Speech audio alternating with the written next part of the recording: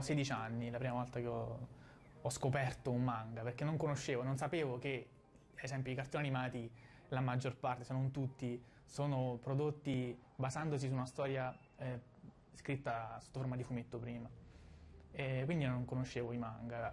Io sono cresciuto in un paesino in Abruzzo chiamato Fossa Cesia, dove non esistono fumetterie. Non esistevano fumetterie, c'era un'edicola piccolissima con una signora anziana che vendeva i giornali e anche in questa edicola dietro Spider-Man, dietro Superman c'erano i manga. E un giorno per caso proprio cercando io cercavo Spider-Man, Superman vedendo i fumetti facevo ma com'è possibile che ci siano i fumetti di, di, cartoni, di cartoni animati?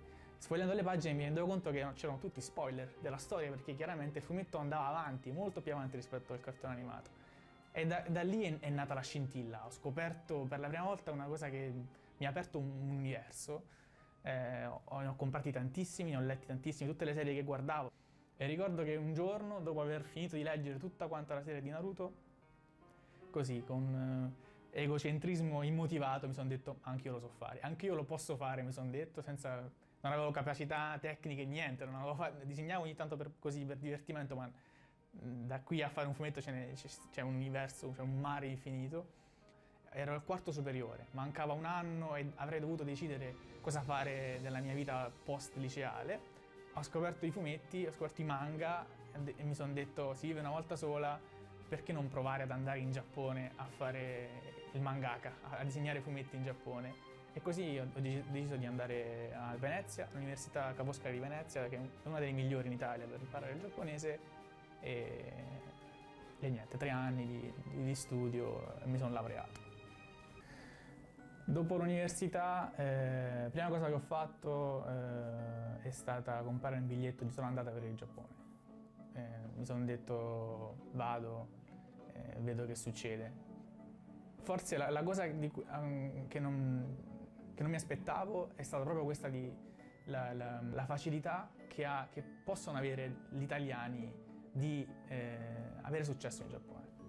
In Giappone c'è appunto questa questa tendenza a stereotipare, stereotipare l'italiano come il playboy, come il, la persona poco seria in amore. Il Giappone mi ha eh, fatto diventare estroverso, mi ha dato sicurezza, mi ha fatto sentire in certo senso bello col lavoro del modello e mi ha fatto sentire, mi ha fatto capire le, le qualità che avevo che magari non notavo in Italia.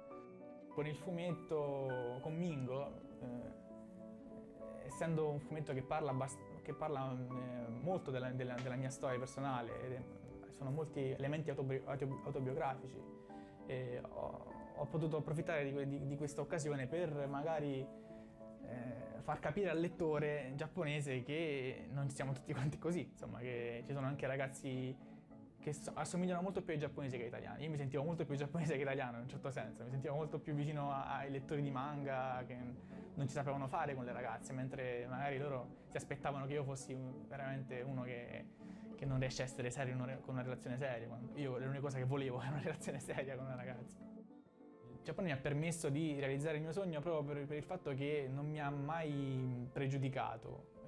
Portare il lavoro in casa editrice da... Eh, me che ero un, diciottenne italiano con un livello di giapponese non, eh, non incredibile, eh, sono sempre stato comunque eh, approcciato, sono sempre stato eh, in grado di avere conversazioni a livello estremamente professionale con editor che lavoravano magari con fumettisti a livello mondiale. Mi piacerebbe chiaramente anche lavorare in Italia, è una cosa che, a cui non ho mai pensato.